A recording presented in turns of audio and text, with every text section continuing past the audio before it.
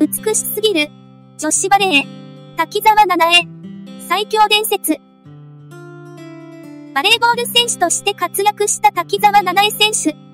1987年9月22日生まれ。167センチメートル。56キログラム。維持すぎる女子バレー選手として人気を博した選手です。実米の滝沢ひとみさんも検証会レッドハーツに所属していた元バレーボール選手です。東京都三鷹市出身で、母親の影響を受けて小学校2年生からバレーボールを始めました。バレーボールの強豪校である八王子実践高校時代はリベロとして春高バレーなどで活躍。3年生では主将としてチームを率いました。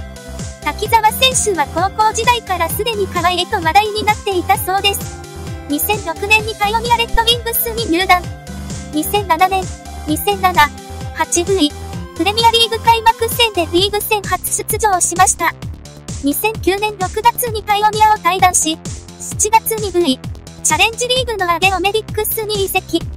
リベロのレギュラーに定着し、2009、10V、チャレンジリーグの準優勝に貢献しました。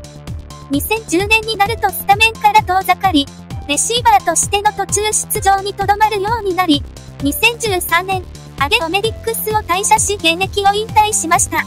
引退後はバレーボールスクールのコーチをするなど、指導者としての人生を歩み始めました。2017年にテレビ番組で同性愛者であることと年下の女性と交際していることを告白。カミングアウトしたことを SNS に投稿すると、たくさんの応援のメッセージが寄せられました。現在はパーソナルトレーナーとして、独立してパーソナルジムを開業されています。滝沢七重さん、まさに伝説の選手です。